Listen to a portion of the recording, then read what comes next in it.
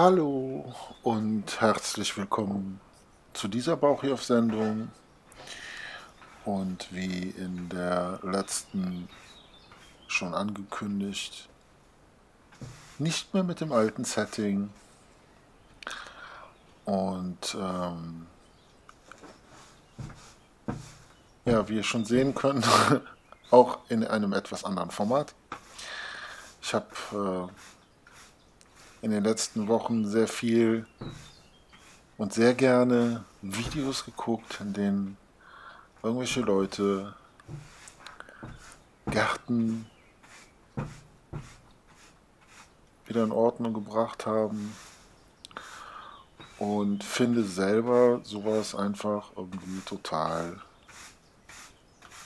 beruhigend, kann ich gut bei runterkommen, wenn Leute, wenn ich Leute einfach, das ist, es ist halt so, ne? ich, kann, ich kann das nicht leugnen. Ich gucke unheimlich gerne anderen Leuten beim Arbeiten zu. Äh, das ist allerdings auch bedingt, ähm, also wenn, äh, also es macht am meisten Spaß, wenn man auch irgendwie den Eindruck hat, dass die Leute irgendwie Ahnung haben von dem, was sie da machen. Und äh, wer mich jetzt hier sieht, der wird sich wahrscheinlich denken, hier, wieso macht er das denn da jetzt alles unter den Busch drunter? Ja, das nennt sich Mulchen. Und ähm, ja, oh Wunder, aus den Blättern werden wieder Mutterboden nach einer Weile. Oder wird wieder Mutterboden aus den Blättern, wird Mutterboden, ja genau. Und äh, deswegen kommen die da halt eben wieder unter die Pflanze meistens, die sie auch hat fallen lassen, die Blätter. Hier in diesem Fall muss ich gerade echt überlegen, ich weiß gerade nicht, wo da Laubbäume stehen, aber es, ist, es wird trotzdem Mutterboden. Ähm, ich bitte gleich am Anfang darum zu entschuldigen, dass ich ich muss, ich bin, ein, ich will, ich, ich will es nicht ausdrücken, aber ich bin ein bisschen zu doof, um die Kamera zu bedienen. Es sind eigentlich nur zwei Knöpfe, die man da in der richtigen Reihenfolge drücken muss. Und dann sollte das eigentlich aufnehmen und die Aufnahme stoppen. Und äh, das hat das aber irgendwie nicht so ganz getan. Und deswegen ist das hier jetzt so, dass ich zwei an zwei verschiedenen Tagen zwei Stellen gekehrt habe, wo ich mir gedacht habe, stell mal einfach die Kamera auf, mach auch, auch mal so ein Video. Erzählst du einfach so ein bisschen, was dir durch den Kopf geht dazu. Also das, was ich jetzt gerade mache.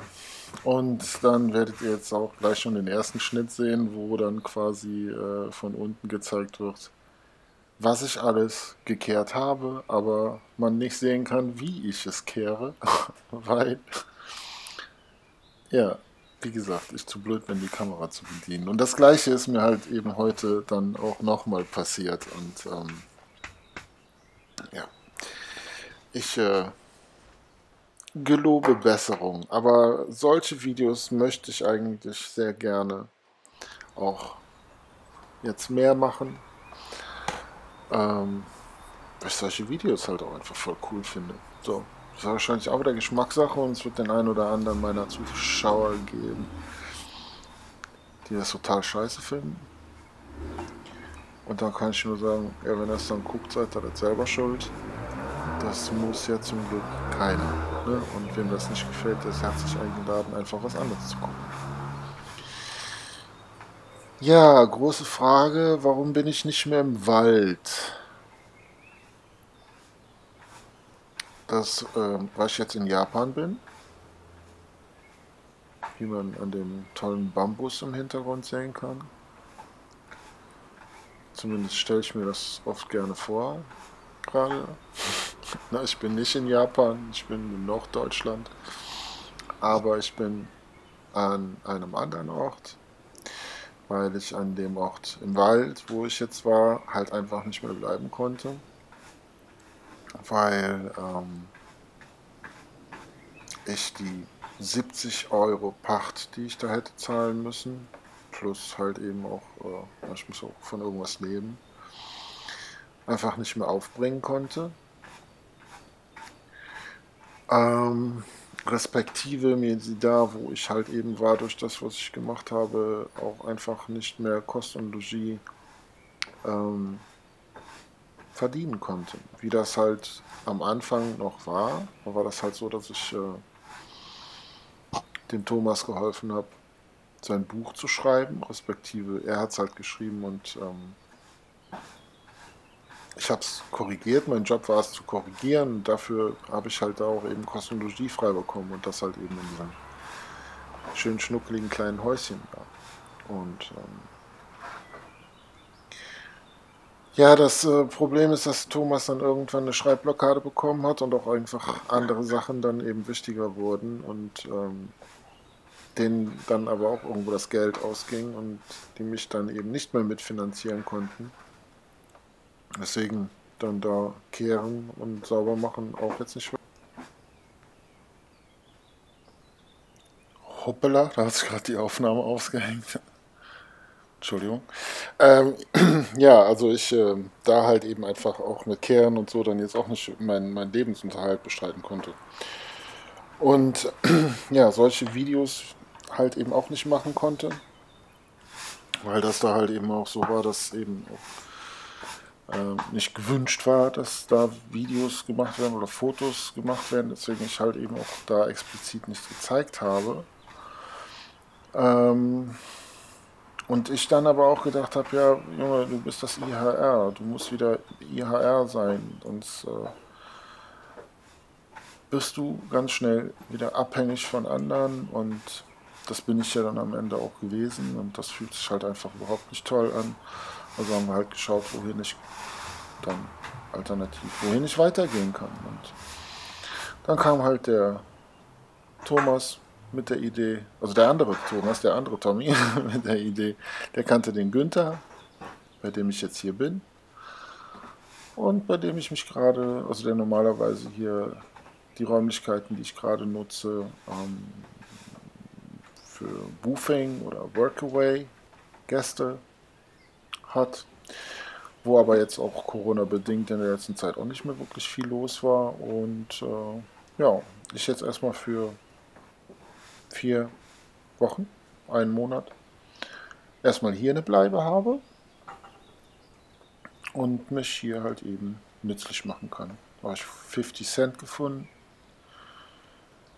und ähm,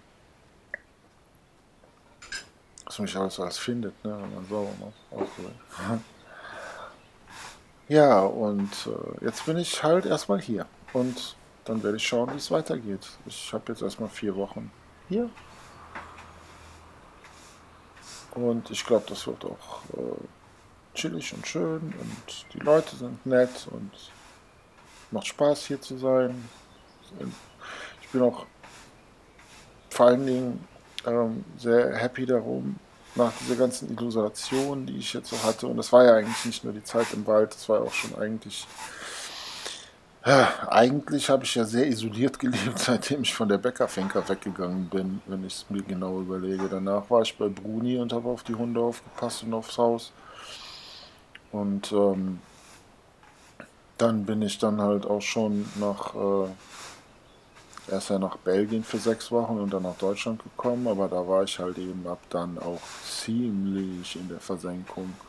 Zwischendurch bin ich ja nochmal in Österreich gewesen, 2020, und habe dann ähm, den Flowrider bekommen, aber bin auch mit dem Flowrider ja dann eigentlich auch nur an Orte gefahren und habe Leute besucht, die ich kannte und sehen wollte und habe mich möglichst ansonsten aus der Öffentlichkeit rausgehalten. Vor allen Dingen, weil die Öffentlichkeit mir einfach zu, mas zu maskiert war. und ich auch keine Lust hatte, da irgendwie an diesem ganzen Blödsinn teilzunehmen und so. Ja, und der Günther, der geht halt eben ein paar Mal die Woche in unterschiedlichsten Städten spazieren. Ihr wisst schon, spazieren, spazieren, nicht einfach so spazieren, sondern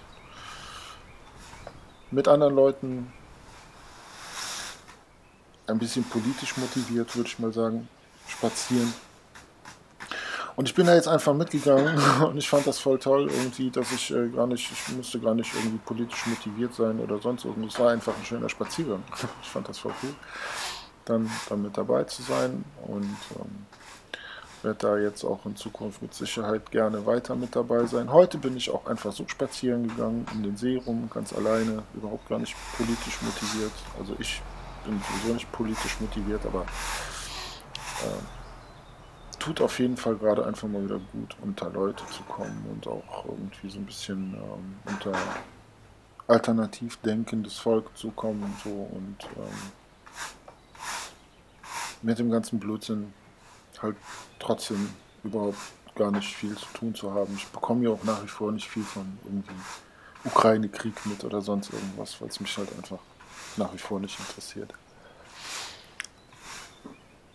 Ja, und irgendwie gestaltet sich mein Leben hier jetzt auch einfach so ein bisschen anders wieder. Also ich bin halt wirklich so ein bisschen versackt in der, in der Waldhütte. So schön es war und so gern ich da auch gewesen bin, aber es ist halt irgendwie so ja, ich konnte halt nichts machen. Ne? Ich war nicht mobil und dann habe ich da festgesessen und dann habe ich keine Aufträge kriegen können und gar nichts. Und dann gab es auch irgendwie wirklich nicht mehr viel zu tun. Dann bin ich sehr krank geworden, unheimlich viel Stress mit meinem Trigeminus-Nerv gehabt durch halt die angefangene Zahnbehandlung, wodurch dann halt wirklich das mit meinem Trigeminus wirklich echt noch schlimmer geworden ist, als das jemals war. Deswegen ich jetzt auch irgendwie gucken möchte, wie ich das zu Ende geführt bekomme. Das heißt, ich werde irgendwie nach einem Zahnarzt hier am besten möglichst nicht allzu weit weg suchen. Ich hoffe, dass es jemanden gibt, der vielleicht ein großes Tattoo auf dem Rücken haben will. Oder sonst irgendwas. Also es, es, muss einfach jetzt meine rechte Seite noch fertig gemacht werden. Die Hauptsachen sind geregelt. Die ganzen Wurzeln von den abgebrochenen Zähnen, die noch im Kiefer hängen, die sind alle raus. Und, aber jetzt müssen halt die Zähne, die jetzt dann noch eben zu retten sind, auch dann endlich gerettet werden, weil ansonsten liegen die nämlich auch einfach gerade nur offen und blank und das ist natürlich dann für meinen Nerv nicht so dolle. Und ähm, es ist trotzdem so, dass ich nach wie vor, also fast zwei Monate jetzt schon ohne Schmerzmittel auskomme. Dazu kommt, dass ich jetzt morgen drei Wochen Nichtraucher bin und das auch bleiben werde. Also jetzt fange ich bestimmt nicht mehr damit an. Da kommt Japan wieder. Zu schön einfach. Nicht nur Bambus, wir haben auch, es ist auch Japan um mich rum. Äh, Günthers Frau Michiko ist Japanerin und ja, voll cool. Irgendwie alles. Ähm, ja, wo war ich stehen geblieben? Keine Ahnung, ich habe mich gerade schon wieder verrannt irgendwie, habe mich durch Japan aus dem Konzept bringen lassen. Ähm, ja, keine Ahnung. Achso, ja, Zähne, genau. Ne? Und dass ich am liebsten einen Zahnarzt finden würde, der ein großes Tattoo braucht und mir dafür meine Fresse poliert. und ähm, den Rest von dem angefangenen Job fertig macht und ähm, mich auch hoffentlich endlich mal von diesen wirklich sehr lästigen Nervschmerzen befreien kann. Das ist echt langsam, ja.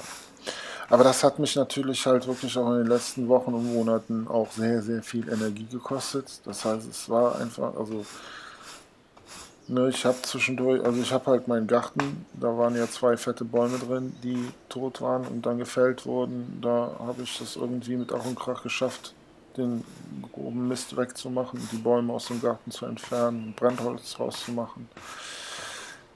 Aber äh, ansonsten habe ich sehr, sehr, sehr, sehr viel einfach in meinem Sessel gesessen, habe versucht, mich mit YouTube-Videos abzulenken und äh, mich gefreut, wenn ich es irgendwie ausgehalten habe aber da war nicht viel mit Action.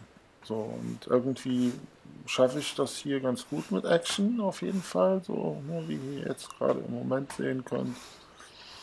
Ansonsten habe ich hier viel jetzt schon auch wieder gemalt, wie ihr auf Facebook sehen konntet und Instagram, was ich ja wieder ähm, aktiviert habe. Allerdings halt wirklich so, ich habe bis jetzt immer noch die, die Startseite von Facebook nicht aufgerufen.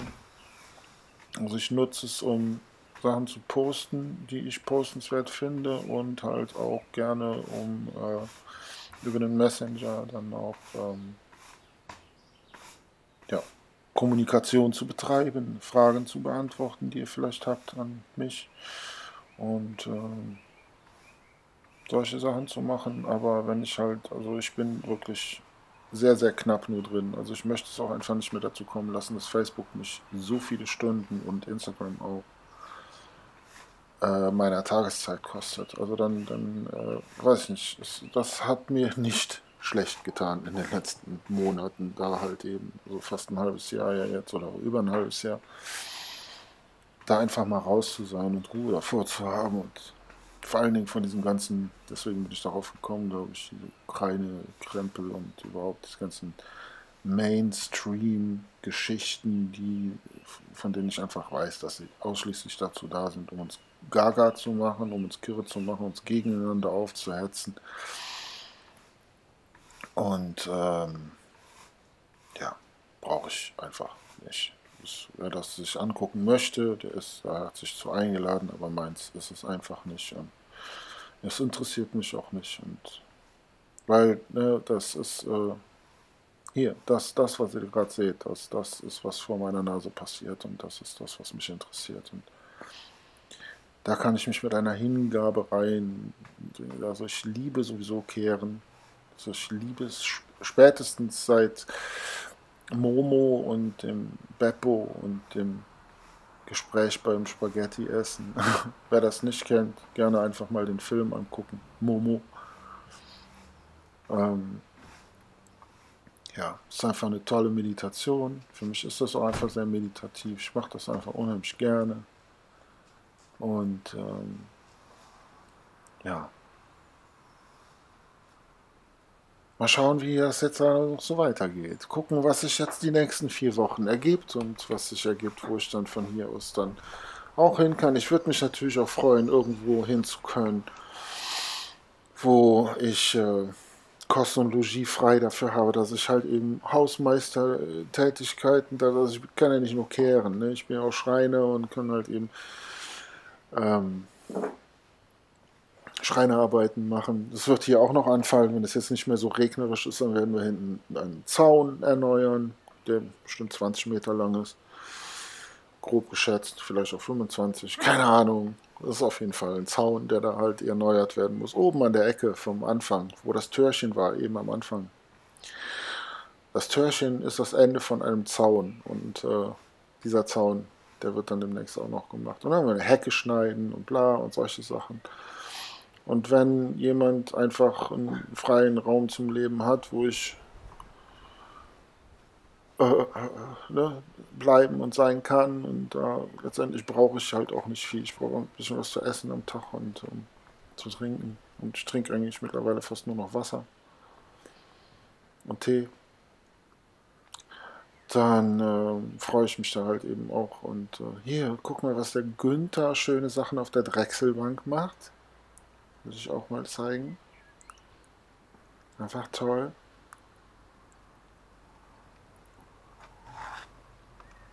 Holz von Günther. Ja.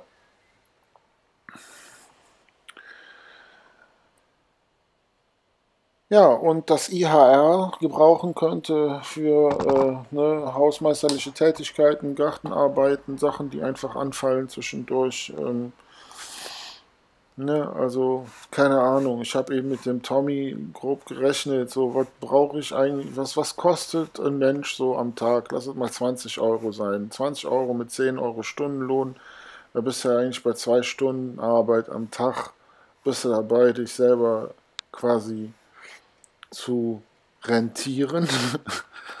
und ähm, ja, und ich kann ja noch, noch einiges mehr. Und wenn da jemand ist, der auch ansonsten was mit unkonventionellem Gedankengut und dem, was daraus dann so hervorkommt, äh, anfangen kann, ähm, freut sich vielleicht tatsächlich darüber, dass da dass der Bauch eine neue Stelle sucht und ein neues Zuhause gleich mit. Ähm, ja, da gibt es noch so ein Ding, wo ich im Moment nicht genau weiß. Äh, eine Freundin hat sich an mich gewendet mit einem Hilferuf, weil es da eine kleine französische Bulldogge gibt, die dringend ein neues Zuhause braucht und hoffte, dass ich das machen kann, aber ich bin mir halt im Moment noch nicht sicher. Also ehrlich gesagt weiß ich noch, ich weiß ehrlich gesagt nicht, ob ich nach Tito wirklich schon bereit für einen neuen Hund bin.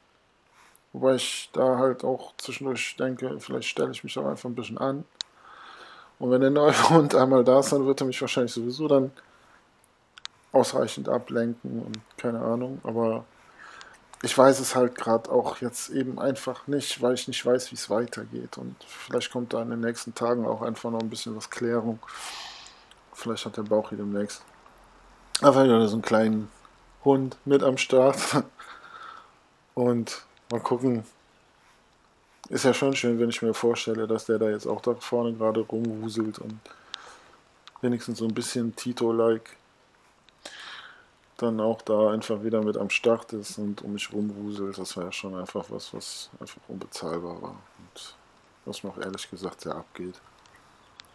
War schön eben beim Tommy zu sitzen, der auch einen sehr altersschwachen, mittlerweile Tyson halt, aber immer noch um sich rum hat und ich bin ja schon doch irgendwie auch durch den Tito auch sehr ein Hundefreund geworden.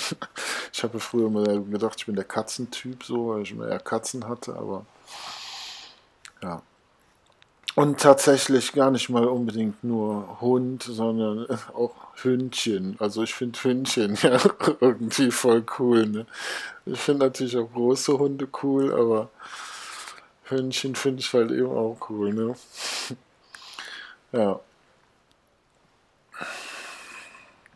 Mal sehen. Ja, das sind jetzt einfach so Gedanken zum Tag und äh, zur Situation. Und ähm, ja, mal schauen. Ich jag das jetzt hier einfach mal raus. Ihr könnt ja mal gucken. Ach, jetzt fängt es eh an zu regnen. Ist das Video eh gleich vorbei. Das ist ja saulustig. Ihr könnt, da bin ich schon gut hingekommen. Hm. Jetzt fängt es nämlich gleich an stärker zu regnen. Ja, und ich werde auf jeden Fall gucken, dass ich äh, lerne, besser mit der Kamera zurechtzukommen und dann werde ich gerne mehr solcher Videos machen und ähm, ja, lasst mich wissen, ob ihr die vielleicht tatsächlich auch einfach ganz ohne Gequatsche haben wollt. Ähm, dann lade ich sie gerne ohne Gequatsche auch nochmal hoch, weil ich weiß, dass es, also ich gucke mir sowas halt einfach total gerne auch einfach ohne Gequatsche an. So, und jetzt hat also wieder nicht gefilmt, wie ich das hier sauber gemacht habe. Scheiß drauf. Tschüss mit F, wir sehen uns.